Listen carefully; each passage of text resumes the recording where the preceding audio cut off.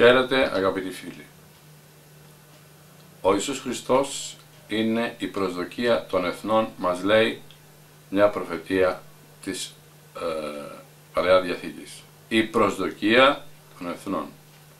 Οι άνθρωποι πρώτου Χριστού, παρά τις τόσες κατακτήσεις που είχαν κάνει, μάταια προσπαθούσαν να ανακόψουν το ορμητικό ρεύμα της αμαρτίας και να συγκρατήσουν τον άνθρωπο από τον ελιστηρό κατήφορο τον οποίο είχε πάρει μέχρι τότε. Οι προσπάθειές τους ήταν ανθρώπινες και στερημένες από Άγιο Πνεύμα και αποδείχτηκαν για αυτόν τον τρόπο άκαρπες. Όλα τα θεωρητικά πνεύματα, ο Θαλής ο Μιλήσιος, ο Ενεξημένης, ο Πυθαγόρας, ο Ηράκλητος, ο Σοκράτης, ο Πλάτωνας και οι όμοιοι τους, μάταια προσπαθούσαν να καταστήσουν τους ανθρώπους ενάρετους και ευτυχείς και να τους απαλλάξουν από τις πλάνες και από το σκοτάδι τους. Σε κανένα μεγάλο και σπουδαίο αποτέλεσμα δεν είχε φτάσει ο άνθρωπος παρά την ε, καλή πρόθεση την οποία διέκριναν όλες αυτές οι προσπάθειες. Δεν μπόρεσαν να καταστήλουν την κατάπτωση των ηθνών, ε, ε, ηθών και να σώσουν τον άνθρωπο από τον κατήφορο τον οποίο είχε πάρει. Η αθεία, το ψεύδος και όλα αυτά κυριαρχούσαν στις θρησκείες των λαών αναμειγμένες με κάποιες αμυδρές αλήθειες. Οι νέο-Πυθαγόροι αποπειράθηκαν να αναζωπυρώσουν το θρησκευτικό αίσθημα προς τους πάτριους θεούς, οι δε νέο-Πλατωνικοί, με την αλληγορική εξήγηση των μύθων, επεδίωξαν να εξαλείψουν όλες τις ψυχρές ιδιότητες οι οποίες υπήρχαν στις θεότητες. Αψεγάδιαψε αυτός μάρτυρας όλων των συστημάτων και των θρησκειών είναι ο πρίτανης των φιλοσόφων Σοκράτης, ο οποίος είπε, βλέποντας τις μάταιες προσπάθειες και αναφώνησε «Ημί την άλλον ο Θεός ημίν επιπέμψη, κηδόμενος ημών».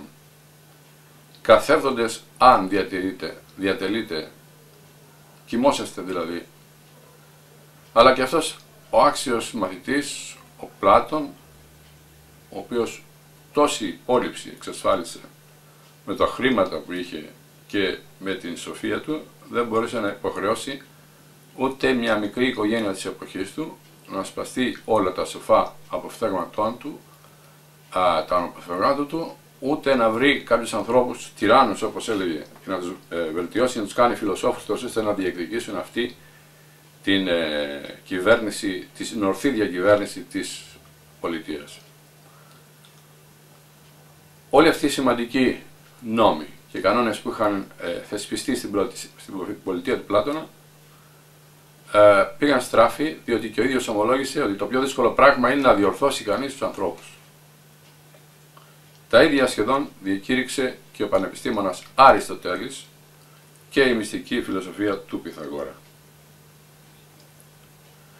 Την απελπιστική κατάσταση των πραγμάτων επισφράγισε ο Πλωτίνος με τους βαρισίμαντους αυτούς λόγους που είπε αφού οι άνθρωποι δεν μπορούν να υψωθούν μέχρι τους θεούς οφείλουν οι θεοί να κατεβούν στους ανθρώπους. Η αρχαία λοιπόν φιλοσοφία αγαπητοί φίλοι παρόλη την ευγνωμοσύνη που της οφείλει η ανθρωπότης για τις προσπάθειες της φιλότιμες που κατέβαλε με τους κορυφαίους φιλοσόφους στην Ελλάδα, στη, στο Λάτιο και στη Ρώμη και παντού αλλού, δεν κατάφερε πολλά πράγματα, δεν κατάφερε να καταστήλει την αμαρτωλότητα των ανθρώπων και να φέρει μια ηθική κατάσταση πιο μεγάλη, πιο καλή στους ανθρώπους. Το αίτημα δεν ήταν μόνο η βελτίωση της κοινωνίας ως συνόλου, αλλά η λύτρωση του ανθρωπίνου προσώπου από την υπαλλαγή του, από την αμαρτία. Αυτό είναι που ο χριστιανισμός πιστεύει ότι ο κάθε μας πρέπει να αναμορφωθεί μέσα του ο ίδιος. Έτσι λοιπόν θα μεταδοθεί η αιώνια ζωή μόνο αν ο άνθρωπος έρθει σε μια κάθαρση των παθών και σε μια καλύτερη βελτίωση των σχέσεών του μεταξύ ανθρώπου και Θεού. Η θέωση δηλαδή του ανθρώπου είναι, θα είναι ο μοναδικός και ανέκφραστος μύχιος πόθος κάθε ψυχής κάθε ανθρωπίνης υπάρξεως. Και γι' αυτό διότι οι ψυχές όλων των ανθρώπων, όλων μας, είναι πλασμένες από τον Δημιουργό και μόνο στην αγκαλιά του Δημιουργού μπορούν να βρίσκουν την τέλεια ανάπαυση. Όπως είπε και ο Αγουστίνος και μόνο αυτόν αναγνωρίζουν σαν πραγματικό Κύριο, αν τον βρουν. Λοιπόν, ε, κανείς από τους πρόχριστου θεούς δεν είχε τη δύναμη να χορτάσει την ανθρώπινη ψυχή στο μέτρο της τελειότητας που τη χορταίνει η προσωπική επαφή με τον αληθινό Θεό. Και αυτή η τροφή, την οποία ζητάει κάθε ψυχή, είναι η χάρις που δόθηκε από τον Χριστό σε κάθε άνθρωπο που ζήτησε από τον ίδιο να του δώσει με τα Άγια Μυστήρια τη χάρη του, έτσι, με την οποία θα μπορούσε να προχωρήσει, να προοδεύσει και να φτάσει στην ευτυχία και στην ένωση με τον απόλυτο Θεό. Μόνο λοιπόν με αυτόν τον τρόπο και σε αυτόν τον χώρο το χριστιανικό υπάρχει η δυνατότητα να απαλλαγεί κανείς από τα πάθη και να αποκτήσει τις αρετές αλλά και να συνεχίσει προχωρώντας προς τη θέωση. Όπως η Ορθόδοξη Εκκλησία έχει θεσπίσει τα τρία αυτά στάδια.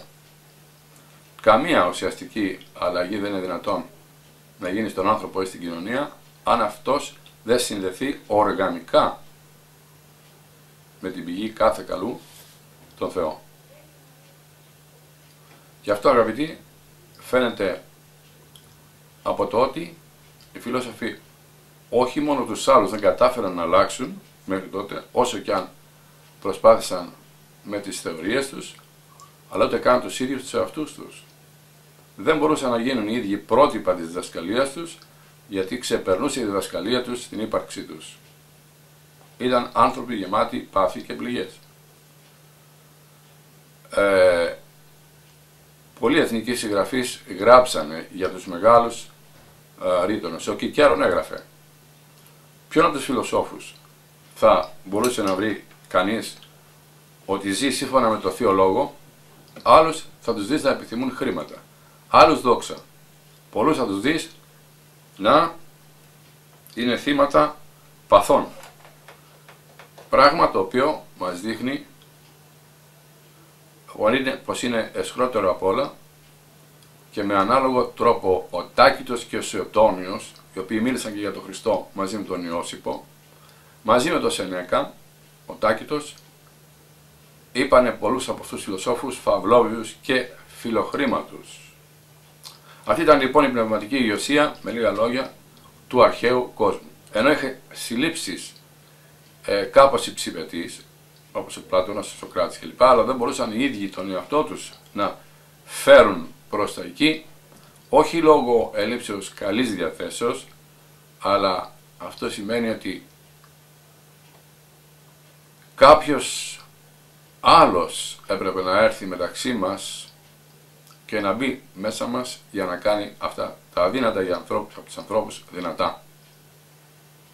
Να πραγματοποιήσει αυτό που νοσταλγούσε κάθε ανθρώπινη ψυχή που υπήρχε σε όλη την οικουμένη διαμέσου, διαδόθηκε διαμέσου 12 γραμμάτων ανθρώπων, οι οποίοι με τη δύναμη του λόγου τους που είχαν από το Θεό πάρει, κατάφεραν να πείσουν όλη την ανθρωπότητα και καμιά θρησκεία δεν μπόρεσε να το πετύχει αυτό που μπόρεσαν οι 12 αγράμματοι μαθητές του, του Θεού, του Χριστού. Ο Θεός διάλεξε λέει τα μωρά του κόσμου για να κατασχύνει τους σοφούς. Τι γράφει ο Απόστολος Παύλος και γιατί το λέει αυτό, διότι υπήρξαν σοφοί στην αρχαιότητα, πανεπιστήμονες οι οποίοι δεν μπόρεσαν να κάνουν αυτά που έκαναν 12 αγράμματοι Απόστολοι, αλληλείς. Όχι όλοι βέβαια, η πλειάδα, οι περισσότεροι ήταν αγράμματοι.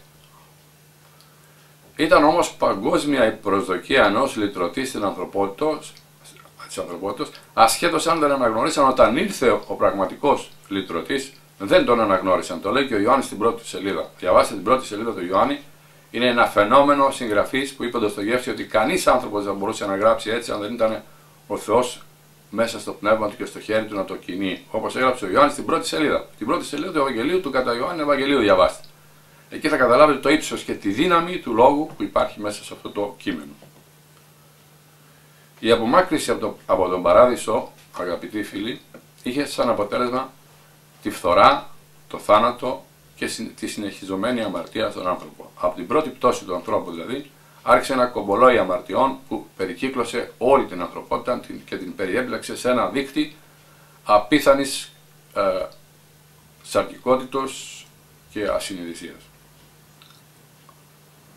Ο άνθρωπος όμως δεν έπαβε μέσα του να έχει μια συνείδηση του τι ζητάει η ψυχή του από τον ίδιο αυτόν. Έβλεπε όμως και τον εαυτό του ειδωλοποιημένο στις περισσότερες περιπτώσεις και αυτό δεν τον ικανοποιούσε καθόλου πνευματικά.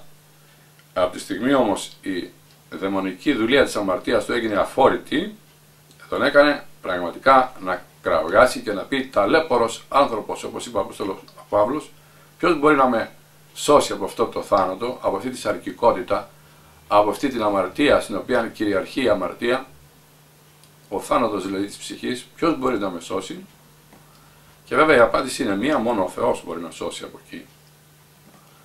Άρχισε να βγάζει αυτό το ερώτημα από τη βασανιστική μοναξιά κάθε άνθρωπο ο οποίος σκέφτηκε την αμαρτωλότητά του. Διότι πρώτη είναι αναγνώριση αμαρτωλότητας και μετά η μετάνοια, να το έχουμε υπόψη μας αυτό σε όλες τις περιπτώσεις.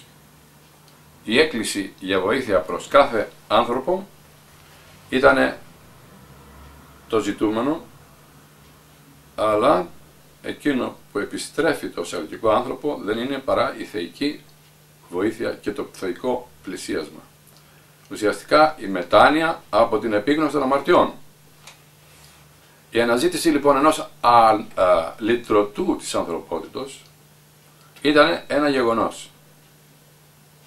Διότι έφερε το σαρκικό άνθρωπο που βασανίζονταν από την αμαρτία και την άγνοια στο μεγάλο ερώτημα ποιος θα με σώσει. Ένιωθε ο άνθρωπος την αλυτροσύνη του, ότι είναι αλύτρωτος. Και αλίμονος σε κάθε άνθρωπο αν δεν νιώσει ότι είναι αλύτρωτος και πει είμαι εντάξει.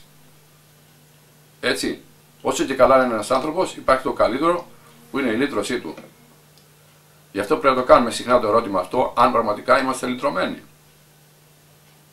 Το πρόβλημα αυτό πρέπει να τεθεί σε όλους τους ανθρώπους μέσα στη συνείδησή τους και να δώσουν μια απάντηση προσωπική. Όλοι πρέπει να δώσουμε μια αυτοσυνείδητη απάντηση σε αυτό το ερώτημα. Αν είμαι ή δεν είμαι λυτρωμένος. Και ο άνθρωπος αισθάνεται αλύτρωτο και με το δίκιο του, διότι όλοι αισθανόμαστε αυτή την αλύτρωτη τάση που υπάρχει μέσα στην ψυχή μας. Αυτή η προσδοκία ανταποκρίνοντας στις πνευματικές διαστάσεις των υψηλών προσώπων της ανθρωπότητος. Δυστυχώς αποδείχτηκε μέχρι τότε ότι ήταν μόνο προσδοκίες και όνειρα και φρούδες ελπίδες. Η βασική δίψα του ανθρώπου και της ψυχής του ανθρώπου για λύτρωση δεν είχε προ Χριστού καθόλου έρθει σε ένα αίσιο τέλος. Ο σαρρυγικός άνθρωπος κυριαρχούσε στον πνευματικό άνθρωπο. Η σχέση με τον πλησίον επίσης ήταν διατεταραγμένα σε μεγάλο βαθμό. Βλέπαμε του αυτοκράτορες να καίνε τους ανθρώπους αλαμπάδε για να φωτίζονται, να τους δίνουν στους άγρια θηρία και ο κόσμος να αναλάζει από χαρά. Διότι θα τόσο πολύ η διαφορά που είχε παρασύρει την ανθρώπινη αξία στο έσχατο σημείο. Ο άνθρωπος ήταν ένα ζώο και χειρότερος από ένα ζώο σε πολλές κοινωνίες όπως η Ρωμαϊκή προς το τέλος της και άλλες. Όταν λοιπόν ο άνθρωπος είπε στον εαυτό του αναζητώ τον, την αλήθεια και τον αληθινό Θεό, βρισκόταν στον πραγματικό δρόμο της λύτρωσης. Από το δικό μας εαυτό λοιπόν τι θα μπορούσαμε να ζητήσουμε αγαπητοί φίλοι; Δεν μπορεί να ανέβει ένας άνθρωπος από μόνος του, πρέπει κάτι να τον ανασύρει. Όπως με τη βαρύτητα είμαστε καθυλωμένοι πάνω στη γη, έτσι και με την αμαρτία. Έπρεπε να βρεθεί κάποιος ο οποίος να μας σηκώσει. Κάποια δύναμη την οποία να μας σηκώσει. Γιατί δεν μπορούμε να σηκωθούμε εμείς μόνοι μας από τη βαρύτητα. Και αν πηδήξουμε στον αέρα, δεν θα μείνουμε στον αέρα, θα ξαναπέσουμε στη γη. Έτσι λοιπόν μαζί με την αναζήτηση του λυτρωμένου αυτού ζητούσαμε και τη σχέση με τον άλλο άνθρωπο. Διότι η σωτηρία περνάει και από τον άλλο άνθρωπο. Κανείς δεν θα σωθεί μόνος του. Και είναι λάθος να λέμε δεν πηγαίνω στην εκκλησία, αλλά κάθομαι σε ένα ρημοκλήσι μόνος με το Θεό. Και μόνος θα κάτσει με το Θεό, αλλά και με τον συνάνθρωπό σου με τον αδελφό σου θα προσευχηθείς μαζί. Αν παρακάμψεις αυτή τη σχέση με τον συνάνθρωπο, δεν μπορείς να πας στο Θεό. Γι' αυτό η Εκκλησία είναι ένα σύνολο ανθρώπων, οι οποίοι αλληλοβοηθούν ο ένας τον άλλον. Οι προφητείες μας παρουσιάζουν τον νέο Αδάμ, το θεάνθρωπο τον οποίον καλούν προσδοκία όλων των εθνών. Να γιατί ήταν απαγορευτικό κατά κάποιο τρόπο οι Ιουδαίοι να περιμένουν τον Χριστό, δηλαδή τον Μεσσία, τον Σωτήρα, το Θεό επί γης, να είναι αφενός μεν Ιουδαίος, όπως και ήταν βέβαια κατά σάρκα, αλλά να μην είναι συμπαντικός σωτήρας, αλλά μόνο του εβραϊκού γένους. Αυτό ήταν απαράδεκτο. Ήθελαν μόνο τη δικιά τους λύτρωση και όχι τη λύτρωση των άλλων ανθρώπων. Άμα θέλουμε τη δική μας λύτρωση, πάλι βρισκόμαστε σε μια κόλαση. Πρέπει να προσευχόμαστε για όλων των ανθρώπων τη λύτρωση, για να μπορέσουμε να λυτρωθούμε και εμείς.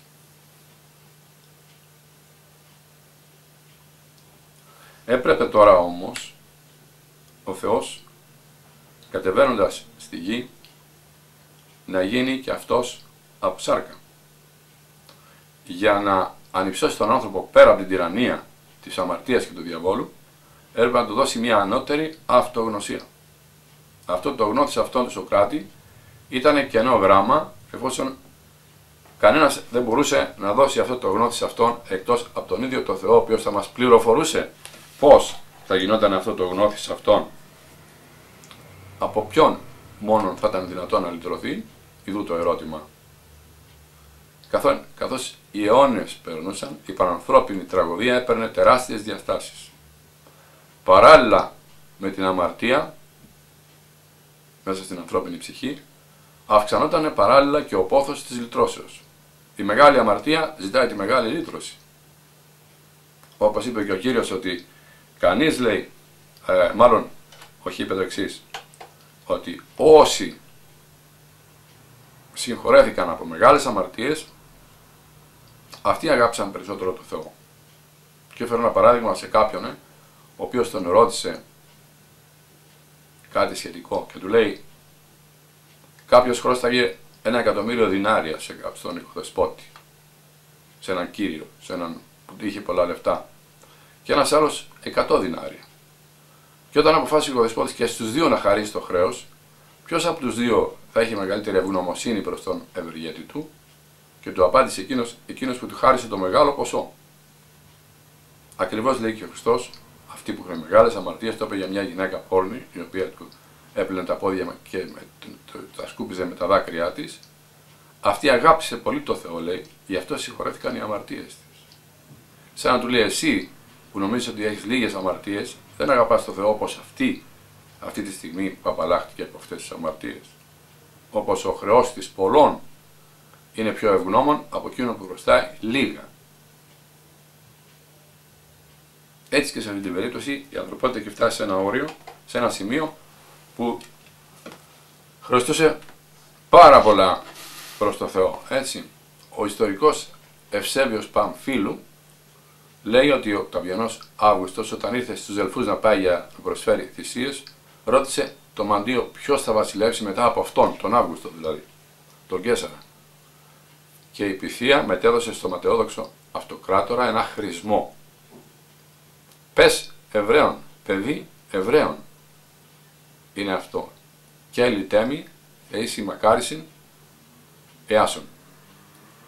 Ε, ον δεδόμων προλητήν, αν δεν θυμάμαι καλά, κλπ. Είπε ένα αρχαίο χρησμό, ο οποίος μας λέει πολλά σε αυτή την περίπτωση, γιατί ακόμα και οι Σύβιλες πήρανε το μήνυμα από το Θεό να πούνε πως ένα παιδί Εβρα... Εβραίων, ο Ιησούς δηλαδή, ο οποίος είναι βασιλιάς των αθανάτων θεών, αυτός είναι ο χρησμός, με διατάζει να εγκαταλείψω αυτό το ναό και να επιστρέψω πάλι στον Άδη. Σώπασε λοιπόν αυτοκράτορ και φύγει από το ναό μου. Υποτίθεται ότι μιλάει το πνεύμα της Σύβιλας κλπ. Όταν λοιπόν και οι δαίμονες κατά κάποιο τρόπο παρά τη θέλησή τους βλέπουν να α, και αποκαλύπτουν τη χρεοκοπία τους, τότε καταλαβαίνετε ότι πράγματι φτάνει το πλήρωμα του χρόνου να εμφανιστεί ο Μεσσίας στον κόσμο. Όταν αυτός επέστρεψε στο Καπιτόλιο στη Ρώμη, εκεί που είχαν συναθρήσει ε, οι Ρωμαίοι όλους τους θεούς των εθνών, έκανε ένα βωμό μεταξύ των άλλων, μεγαλύτερο, και έβαλε μια επιγραφή από αυτά που είχε ακούσει από τη Σύμπηλα, ε, άρα πρίμα γέννητη day που θα πει βωμός στο Θεό που γεννήθηκε πρώτος. Στις ημέρες αυτού του Αυγούστου γεννήθηκε, του Κέσσαρα δηλαδή, γεννήθηκε ο Ιησούς Χριστός. Αυτό ήταν η διάδοχη κατάσταση που είπε το Μαντίο αλληγορικά. Ε, επάυσα το λέει η πολυαρχία των ανθρώπων, ένας άλλος χρησμός, και θα καταργηθεί η πολυθεία των ειδόλων. Βλέπουμε λοιπόν αγαπητοί φίλοι ότι παρά την προσπάθεια της ανθρωπότητας να φτάσει και να γεφυρώσει το χάσμα που είχε ε, δημιουργήσει η αθεία, η λύτρωση παρέμενε αδύνατη. Η προσπάθεια της ανόδου του ανθρώπου προς το Θεό απέβει μάταιη, αν και κατά μία άποψη, ο Θεός ε, συμβολίστηκε με το άνω θρόσκο, δηλαδή με το κοιτάζω προς τα πάνω και αυτό λόγω της βαθιάς νοσταλγίας που αισθανόταν ο άνθρωπος για τη λύτρωση και την επανασύνδεσή του με το Θεό ε, και φυσικά η Ιουδαϊκή θρησκεία, εδώ που τα λέμε, ήταν πιο προχωρημένη στις προφητείες για το Μεσσία από όλες τις άλλες. Δίχως αυτό να σημαίνει ότι και άλλες θρησκείες ή άλλοι λαοί, να το πούμε καλύτερα, δεν είχαν αυτή την προσδοκία την οποία είχαν και οι Εβραίοι από τη λύτρωση, από έναν λυτρωτή. Ήταν πανανθρώπινο στην εποχή του Χριστού το αίτημα της λυτρώσεως όλων των εθνών. Διαισθανόταν όλη η ατμόσφαιρα δηλαδή, της ανθρωπότητας, διαισθανόταν κατά κάποιο τρόπο διαστητικά ότι κάτι θα συμβεί μεγάλο.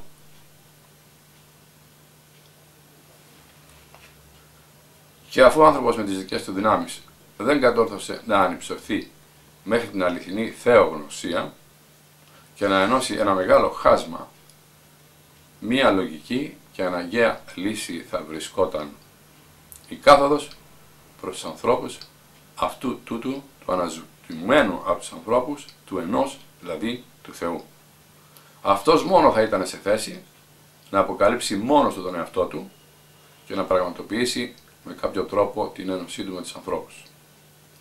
Ενθυμούμαστε και το άλλο παράδειγμα ότι ο, οι Έλληνες α, απεστάλησαν Έλληνες, δεν ξέρουμε τον αριθμό, 10-20 άνθρωποι πόσοι πήγαν τότε στην Παλαιστίνη και ζήτησαν να δουν τον Χριστό.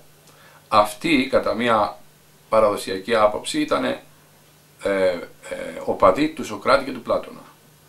Δηλαδή ήταν μονοθεϊστές αρχαίοι Έλληνες, οι οποίοι πίστευαν ότι θα αποκαλύψει ο Θεός στην Παλαιστίνη κάποιον σπουδαίο, ο οποίος θα είναι πολύ κοντά στο Θεό, δεν μπορούσαν να τον προσδιορίσουν αλλιώς, δεν ήξερα ότι είναι ιό Θεού, παραδείγματος χάρη, έτσι δεν είναι.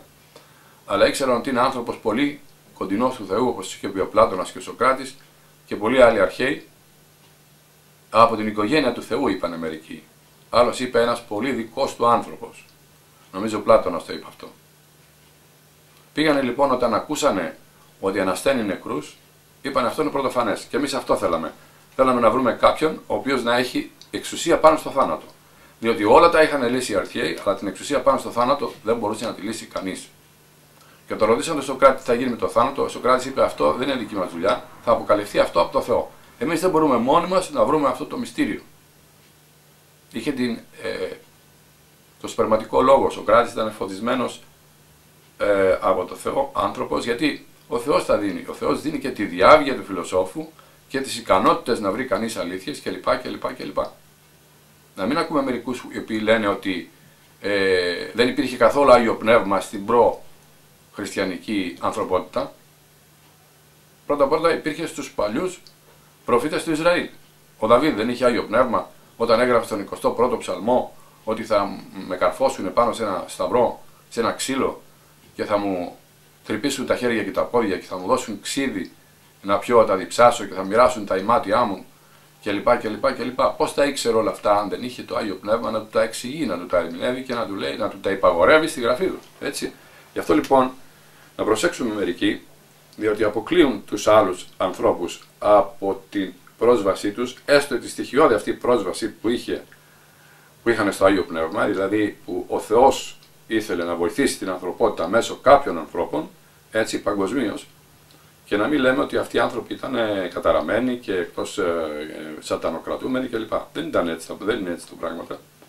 Από ό,τι και οι πατέρε της Εκκλησίας, ο Βασίλειος πλέει, ε, πλέει και εγκόμιο στον Πλάτωνα για ορισμένα πράγματα τα οποία έχει πει Και λέει ότι πραγματικά ήταν σοφός και εμπνευσμένος.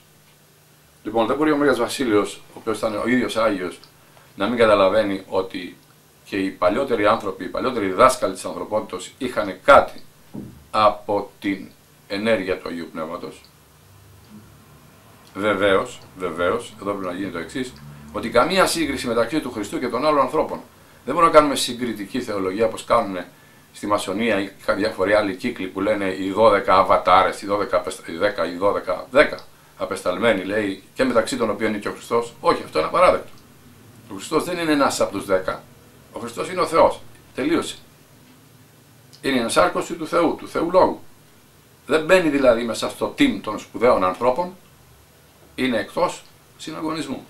Άλλο όμως αυτό, και άλλο μερικοί να λένε, ή να, ε, πώς να πούμε, να μην παραδέχονται όταν τους λέει το γεγονός ότι υπήρχε ο σπερματικός λόγος, ο Θεός φώτισε κάποιες ψυχές προ Χριστού να αντιληφθούν την παρουσία αργότερα του Χριστού, να την διατυμπανίσουν, να την εποροσμένουν, να την... Ε, ο Βυργίλιος, παραδείγματος χάρη, όπως είπαμε και σε μια άλλη εκπομπή, έχει ένα καταπληκτικό θεολογικό κείμενο που εξηγεί ότι ο άνθρωπος δεν μπορεί μόνος του να βρει το Θεό, ότι ο Θεός κάποτε θα τον ελυπηθεί και θα έρθει ο ίδιος ο αυτοπροσώπος να τον βοηθήσει. Μην ξεχνάτε τους τραγικούς οι οποίοι είπαν τόσα πράγματα για τη θεότητα και πέσανε σχεδόν έτσι, επάνω στο πρόβλημα της αλυτρότου και λυτρωμένης ανθρωπότητας. Δηλαδή ότι θα έρθει ο, ο λυτρωτής κάποτε. Μην ξεχνάτε ότι δεν έβρισκε ηθοποιό ο Εσχύλος για να παίξει τον προμηθέα δεσμότη γιατί του είχαν απαγορεύσει να το, να το προβάλλει αυτό το, το έργο του. Το θεωρούσαν άθεο, το ξέρω κάτι τέτοιο. Και έκανε ο ίδιος τον ηθοποιό ας πούμε στο έργο του αυτό. Και μην ξεχνάμε ότι ο, ο Προμηθέας ο ίδιος είναι μια αλυτρωτική ψυχή, μια αλύτρωτη ψυχή, η οποία τι κάνει; Έρχεται στην ανθρωπότητα με μεγάλο ρίσκο της δικιάς του ζωής για να την ευεργετήσει, να της δώσει τη φωτιά. Μήπως μπορούμε να πούμε ότι να της δώσει το φως, διότι ο Χριστός είπε εγώ είμαι το φως. Μήπως ήταν και αυτό μια μικρή πρόρηση του εσχύλου, μια ανοίξη μέσα στην ψυχή του, ότι πρόκειται να έρθει ένα φως στην ανθρωπότητα, δηλαδή ένας πνευματικός δάσκαλος μεγάλος. Όλα αυτά τίθενται στο τραπέζι και ε, ανάλογα με την αξία τους πρέπει να τα αξιολογήσουμε. Δεν πρέπει να αδικούμε καθόλου εκείνους οι οποίοι δικαιούνται να πάρουν ένα μέρος αυτής της ε, υποθέσεως. Δηλαδή, να πούμε ότι και οι άλλοι λαοί, ένα σπέρματι ίσως, αυτό που λέμε σπερματικός λόγος. Βέβαια, σπερματικός λόγος στην κυριολεξία, αγαπητοί φίλοι, να το πούμε και αυτό, έχουμε ακόμα 5 λεπτά. Σπερματικός λόγος είναι αυτός που υπόθηκε από το Θεό στον παράδεισο. Το έχουμε πει πολλές φορές, θα το πούμε άλλη μία. Που λέει ότι θα θέσω θε, έχθρα ανάμεσα σε σένα, λέει στο φίδι ο Θεός, στο Σαντανά δηλαδή που είναι μεταφρομένο σε φίδι. Θα θέσω έχθρα ανάμεσα σε σένα και στο σπέρμα της γυναικός. Από το σπέρμα λοιπόν βγαίνει ο σπερματικός λόγος. Αυτός ο λόγος του παραδείσου διαδόθηκε σε όλες τις γενναίες των ανθρώπων. Διότι εκεί μίλησε ο Θεός, δεν μίλησε κάποιος άλλος. Οπότε μπήκε μέσα συγκλονιστικά μέσα στην ψυχή του ανθρώπου αυτή η ρίση. Το ότι θα βάλω έχθρα ανάμεσα σε σένα και στο σπέρμα, στο σπέρμα της γυναικός. Το σπέρμα της γυναικός δεν είναι άλλο από το Χριστό. Διότι όπως λένε και οι μεγάλοι θεολόγοι, οι οποίοι το έχουν αναλύσει και όχι εμείς που τα ακούσαμε βέβαια αυτά, δεν τα βρήκαμε, ε, το σπέρμα τη γυναικό ήταν ο Χριστός. Διότι η γυναίκα δεν έχει σπέρμα, είναι παράδοξος λόγος το σπέρμα της γυναικός, αλλά όμως αυτός ο λόγος δίνει ελπίδα στην ανθρωπότητα ότι αυτός αυτός που θα γεννηθεί από το σπέρμα της γυναικός, δηλαδή ο Χριστός, θα συντρίψει τον όφη. Θα καταργήσει το κράτος του θανάτου και του σατανά. Του κακού δηλαδή. Ο θάνατος και το κακό και το σκοτάδι. Έρχεται η ζωή, το φως που είναι ο Χριστός. Να λοιπόν πώ δένει αυτό το πράγμα για το πραγματικό λόγο, τον οποίο πρέπει να τον έχουμε υπόψη μας κι εμείς ότι υπήρχε στην ανθρωπότητα και βεβαίως στους σοφούς Έλληνες. Και γι' αυτό έχουμε και τους Έλληνες να πηγαίνουν προς τον Χριστό και να ζητάνε να τον ευρούν διακαώς. Πήγανε στο Φίλιππα και τον Ανδρέα, οι οποίοι είχαν ελληνικά ονόματα, δεν ξέρουμε αν ήταν και Έλληνες, πιθανόν να ήταν από ελληνική γενιά, γιατί δεν είναι καθόλου παράξενο τότε που υπήρχαν Έλληνες σε όλο τον κόσμο λόγω του Μεγάλου Αλεξάνδρου, υπήρχαν και εκεί. Και τους είπαν: Θέλω να δούμε τον κύριο. Και αυτοί πήγαν στον Χριστό και του το ανακοινώσανε. Έλληνες λέει ήρθαν και θέλουν να σε δούνε. Και τότε τι είπε ο Χριστός, Ελήλθε η ώρα ή να δοξαστεί ο γιο του ανθρώπου. Από έθνος, όχι το δικό σας, το οποίο δεν θα με δεχτεί, από άλλο έθνος. Και αυτό ήταν μια προφητεία του Χριστού ότι το γένος το ελληνικό αλλά και το χριστιανικό γένος, ας το πούμε έτσι τώρα, κατά επέκταση το χριστιανικό γένος, γιατί υπήρχαν και χριστιανοί εκτός Ελλάδος. Πάντως οι Έλληνες ήταν ο κορμός των Ιεραποστόλων που ξεχύθηκαν σε όλη την ανθρωπότητα. Γι' αυτό λέμε και σήμερα ότι εμείς είμαστε απόγονοι Ιεραποστόλων, να κάνουμε μια Ιεραποστολή στην ανθρωπότητα, αφού υπάρχουν τόσα μέσα Ιεραποστολής. Υπάρχει το ίντερνετ, υπάρχουν βιβλία, υπάρχουν τόσα πράγματα τα οποία μπορεί να γίνει μια σύγχρονη Ιεραποστολή για να μάθει ο κόσμος την Ορθοδοξία. Και πρώτα να τη μάθουν οι Έλληνες, γιατί όπως είπαν και κάποιοι άνθρωποι, σοφοί άνθρωποι, οι Έλληνες είναι πιο ακατοίκητο λαός σήμερα στον κόσμο. Οι Ορθόδοξοι επιτρέπεται να μην διαβάζουμε το Ευαγγέλιο και να μην ξέρουμε τι είναι η Αγία Γραφή και να έρχονται χιλιαστές οι άλλοι παραμάσκαλα με την Αγία Γραφή και να μας λένε ότι δεν την έχετε διαβάσει και όντως να μην την έχουμε διαβάσει. Δεν είναι ντροπή εμείς οι οποίοι διαδώσαμε το Λόγο του Θεού γιατί γράφτηκε στα ελληνικά η Αγία Γραφή παρόλες αυτές τις ηλικιότητες που λένε ότι γράφτηκε στα εβραϊκά και μετά μεταφράστηκε λέει όχι γράφτηκε κατευθείαν στα ελληνικά η Αγία Γραφή. Αυτό είναι η αλήθεια. Και πρέπει να τη μάθουν όλοι αυτοί.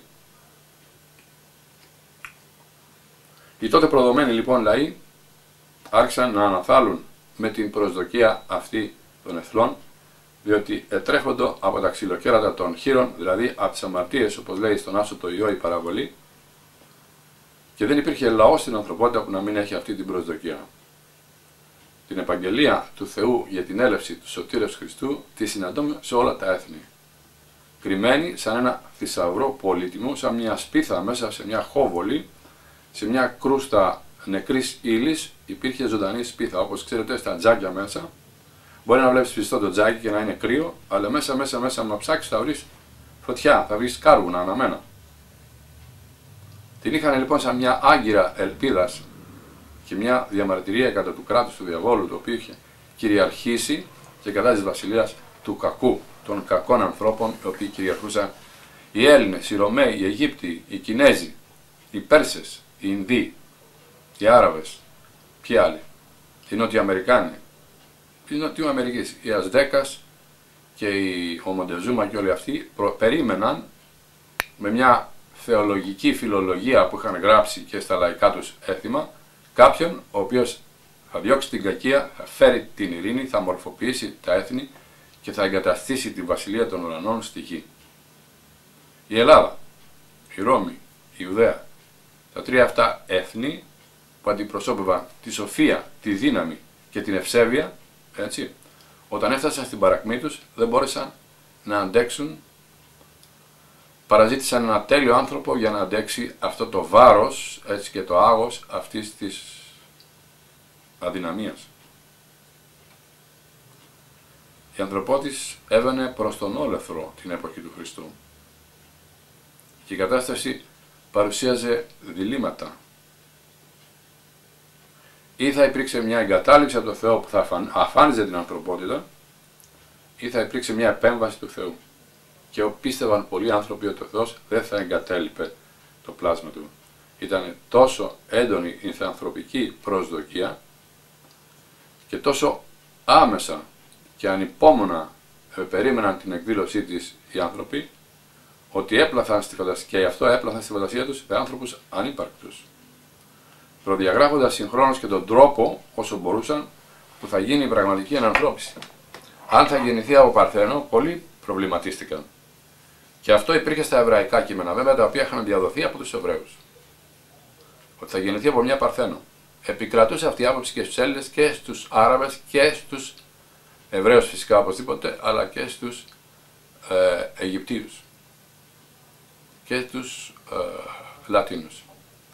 Το ότι θα αναστηθεί από τους νεκρούς όπως έλεγαν θα αναστηθεί όπως η άνοιξη ε, κρατάει τα σπέρματα μέχρι του χειμώνα, μέσα, κρυμμένα έχει τα σπέρματα του χειμώνα και θα μπει σαν μπουμπούκι την άνοιξη αυτή η ύπαρξης. Αυτή λοιπόν η θεανθρωπική προσδοκία, να την πούμε έτσι, μαρτυρεί πως οι άνθρωποι ήθελαν και φανταζόταν τον προσδοκόμενο λυτρωτή. Ο φιλάνθρωπος Θεός, ο οποίος θέλει όλους τους ανθρώπους να τους σώσει και να έρθουν σε επίγνωση αληθείας, όπως λέει και ο Απόστολος Παύλος στην πρώτη προς Τιμόθεον επιστολή, δεν άφησε το αγαπημένο του πλάσμα να απελπιστεί, αλλά έστειλε τελικά τον Υιόν του και έγινε το πιο μεγάλο υπό τον ήλιο γεγονός είναι η ενανθρώπιση αυτή του Κυρίου. Βέβαια δεν τον εδέχτηκαν όλοι οι άνθρωποι. Άλλο αυτό. Δεν ξέρουμε και τις μυστικές ε, μύχιες αντιδράσεις των καρδιών απέναντι στον Χριστό. Τι θέλω να πω; Θέλω να πω το εξής. Βλέπουμε έναν άνθρωπο άθεο. Μας λέει: Εγώ δεν πιστεύω τίποτα, δεν με ενδιαφέρει τίποτα κλπ. Το έχουμε δει αυτό το φαινόμενο πολλές χιλιάδες φορές. Μην τον καταδικάζετε αυτόν τον άνθρωπο. Μπορεί την τελευταία στιγμή της ζωής του να γίνει ένα κλικ. Και γίνεται. Πόσοι από τα μέσα ενημέρωσης έχουν παρακολουθήσει την τελευταία 15 ετία, 20 ετία, πεισματικοί άθεοι, τι έγινε; Ξαφνικά, λίγο πριν πεθάνουν ή κατά την ώρα που πεθάνανε, υπάρχουν μάρτυρες δηλαδή αυτών των περιστάσεων, γιατί αυτά τα πρόσωπα δεν ήταν, ήταν κάποια πρόσωπα στις τηλεοράσεις από εδώ και από εκεί κλπ. Έχουμε αναφέρει και σε άλλη εκπομπή ποια πρόσωπα, μερικά από αυτά τα πρόσωπα, δεν είναι της ώρας τώρα. Μάθαμε για αυτούς ότι είτε εξομολογήθηκαν, είτε ζήτησαν να κοινωνήσουν, είτε ζήτησαν τον πατέρα Μεταλλινό, είτε ζήτησαν τον πατέρα Θανάσιο όπως ο, ο Φλωράκη και ο, ο Βασίλης, ο, εν πάση περιπτώσει, κάποιοι του θεάτρου και του κινηματογράφου άνθρωποι και της τηλεοράσεως, εκεί που βλέπαμε ότι στη ζωή τους δεν τους ενδιέφερε τίποτα, είχαν δηλώσει μαξιστέ, άθεοι κλπ. κλπ, κλπ. Ξαφνικά να θέλουν να έρθουν σε επαφή με το, με το Θεό, με την Εκκλησία, με τα μυστήρια. Γι' αυτό λέω πως κάθε άνθρωπος έχει μια διαδρομή στη ζωή του η οποία θα είναι άγνωστη σε εμάς. Ο Θεός ξέρει τα μύχια των καρδιών και πότε ο καθένας άνθρωπος μπορεί να έρθει σε επίγνωση και να τον ζητήσει. Μπορεί και το τελευταίο δευτερόλεπτο της ζωής του. Μου περίγραψε ένας φίλος ένα περιστατικό για τον αδερφό ενός φίλου του, που είχε πάει τον, είχαμε πάει με το φίλο του να τον εδούνε, και ο οποίος ήταν στο τελευταίο στάδιο και έτυχε, έτυχε πράγματι να δουν την τελευταία του στιγμή. Τα τελευταία, δηλαδή λίγο πριν πεθάνει, πέντε λεπτά πριν πεθάνει. Και μου έλεγε αυτός ο φίλος ότι ήταν κάτι το συγκλονιστικό. Κοίταγε ψηλά στον ταβάνι και άρχισε να μιλάει μόνος του. Με μια σπασμένη φωνή και να λέει: Φύγε εσύ από εδώ. Δεν σε, δεν σε θέλω, δεν σε θέλω κοντά μου. Είσαι κακός, είσαι μοχθηρός, είσαι. Και σε λίγο να φωτίζεται το πρόσωπό του. Οι άλλοι δεν βλέπανε τίποτα βέβαια, αλλά αυτός έβλεπε, έβλεπε τον ουράνιο κόσμο εκείνη τη στιγμή, φεύγοντας από αυτόν τον κόσμο. Και είπε: Εσύ είσαι Χριστέ μου. Με συγχωρείς, δεν το ήξερα, δεν σε ήξερα, δεν σε είχα αναγνωρίσει μέχρι τώρα. Και έφυγε μια γαλήνια έκφρασή τους ο άνθρωπος, ο οποίος δεν ήταν πάνω από 40 χρονών, έτσι. Πράγματα τα οποία συμβαίνουν μπροστά στα μάτια μας και έχουμε μαρτυρίες από ανθρώπους οι οποίοι τα βλέπουν καθημερινά ή κάποτε από άμεσους συγγενείς ή από φίλους κλπ. κλπ, κλπ. Αλλά ας μην κουράσουμε άλλο σε αυτή την περίπτωση, να συνεχίσουμε αυτά, αυτή την εκπομπή την προσδοκία των εθνών και σε άλλη μας ε, συνάντηση να δούμε πώς ακριβώς έχουν τα κείμενα αυτών των λαών και πώς αναζητάνε το Μεσσία και τι αναζητήσεις κάνουν κλπ. κλπ. Και θα μας πείσουν πραγματικά να καταλάβουμε ότι ο Χριστός ήταν πραγματικά όχι προσδοκία μόνο των ανθρώπων του Ισραήλ, αλλά κάθε ανθρώπινης ψυχής εκείνης της εποχής η οποία ζούσε το μαρτύριο, το αλυτερωτικό μαρτύριο. Δηλαδή, καταλάβαινε ότι δεν είναι επαρκής και κάτι του λείπει για να ολοκληρωθεί και να φτάσει στην ιδέα του Θεού, στον ίδιο το Θεό δηλαδή, στη σχέση με τον Θεό και στη σχέση με τον συνάνθρωπό του σε τελειότερη μορφή. Αυτό τοποθούσε η ψυχή κάθε ανθρώπου ο οποίος ήταν την εποχή του Χριστού. Και διότι όπως είπαμε, είχε φτάσει στο Ναδύρ, στο κατώτατο σημείο δηλαδή, το Ζενήθ είναι το ανώτερο και το Ναδύρ είναι το κατώτατο, αν θυμάμαι καλά, στο κατώτατο σημείο η ανθρώπινη αξία. Ο άνθρωπος δηλαδή επολύτω σαν δούλος και το εφέροντο σαν ένα τίποτα. Έτσι λοιπόν και οι δούλοι της ανθρωπότητας κατά κάποιο τρόπο, οι οποίοι πολλοί από αυτούς ασπάστηκαν τον χριστιανισμό, έτσι, ένιωθαν αυτή την αλήτρωτη τάση που νιώθει κάποιος όταν λαχταράει πραγματικά να είναι στην αλήθεια και κοντά στο Θεό. Μέχρι εδώ είμαστε για σήμερα. Ευχαριστούμε πάρα πολύ να είστε καλά. Χαίρετε.